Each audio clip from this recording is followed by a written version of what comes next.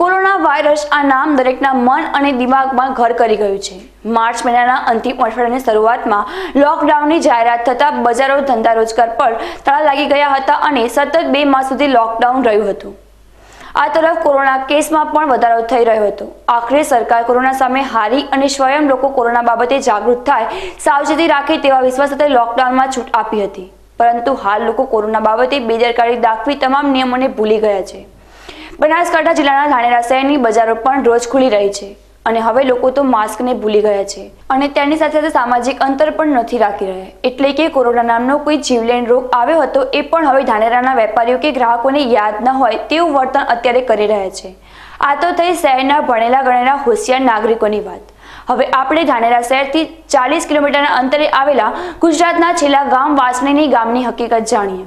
તો વાસણ ગામમાં પણ એક કોરોના પોઝિટિવ કેસ સામે આવ્યો હતો. શરૂઆતમાં જ કોરોના બાબતે ગ્રામજનો ગંભીરતા દાખવી રહ્યા હતા અને આ પરિવારને પણ ગામમાં આવતા જ વાસણ ગામની પ્રાથમિક શાળામાં ક્વોરન્ટાઇન કરવામાં આવ્યો હતો.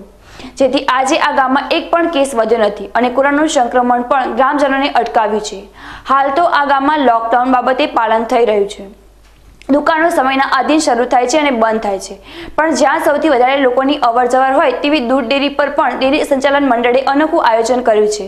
સૌને ખબર છે, બનાસકાંઠા જિલ્લાની આર્થિક તાકાત પશુપાલન પર નિર્ભર છે અને આ ડેરીઓ ચાલુ રહે તો જિલ્લાના પશુપાલનનું જીવન ધોરણ પણ સરળતાથી ભર્યું બની રહે છે.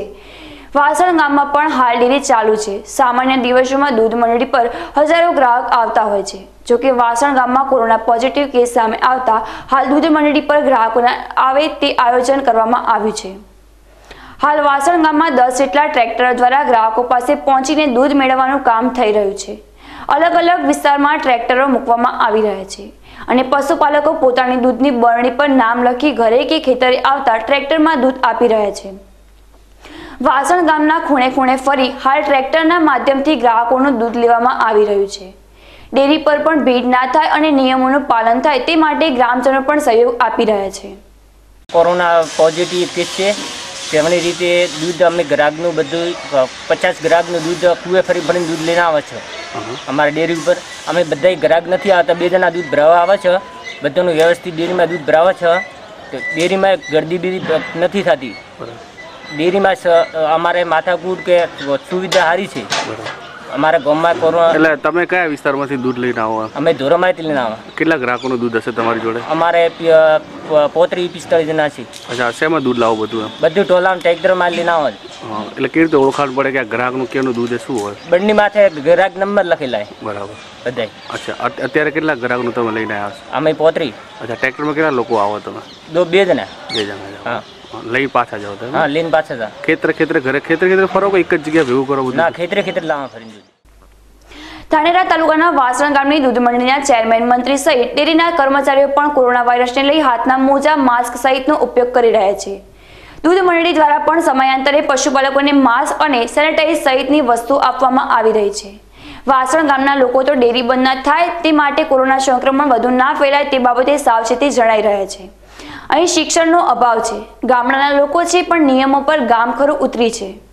વાસણ ગામ દૂધ મંત્રી તલસાભાઈ સાથે ધાનેરા સંવાદદાતા રમેશ પ્રજાપતિએ મુલાકાત કરી દૂધ ડેરીના આયોજન વિશે માહિતી મેળવી હતી. અંદર એક કેસ પોઝિટિવ આવેલો હતો કોરોનાનો. એના પછી અમે દૂધ મંડળીની અંદર વ્યવસ્થા આખી બધી નોખી છે. જે અમારા દિલ્હીના સો જવારના હજાર ગ્રાહક દૂધ ભરાવા આવતા હતા, પાંચસો પાંચસો. એની જગ્યાએ હાલ વીસ ગ્રાહકો દસ ટ્રેક્ટર લઈને આવે છે અને આખા ગામનું દૂધ ભરી નાખે છે. એના પછી કે જે ગ્રાહકો આવે છે એને સેનેટાઈઝ કરાવીએ છીએ.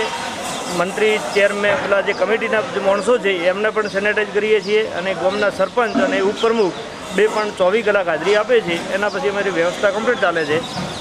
કેટલા માણસો કામ કરતા છે અત્યારે ડેરી ઉપર અત્યારે અમારે દસ જણા કામ કરે છે. અચ્છા કેવી રીતે વ્યવસ્થા એમ? દૂધ કેવી રીતે લેવા જાય? ટ્રેક્ટર દ્વારા લઈને આવે છે અને એક ટ્રેક્ટરની અંદર પચાસ ગ્રાહકોનું દૂધ લઈને આવે છે અને એક ટ્રેક્ટર ઉપર ત્રણ જણ માણસ હોય છે એક ડ્રાઈવર અને બે જણા બીજા.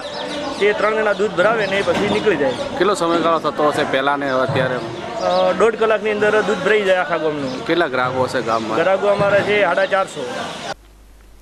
એક વાત જરૂર છે કે સરકાર કે સરકારી તંત્ર જો લોકડાઉનમાં છૂટ આપી શકે તો ફરી લોકડાઉન કરી પણ શકે છે. એટલે જે નિયમો બનાવ્યા છે તે નિયમોને કોરોના વાયરસને લઈ પાલન કરવું પણ જરૂરી છે. હાલ વાસણ ગામના નાગરિકો તો પોતાના ગામની રખાવેલી કરી રહ્યા છે. તમે પણ નિયમોનું પાલન કરી તમારા ઘરે, તમારા શહેરને કોરોનાથી બચાવી એ આપણી ફરજ બની છે.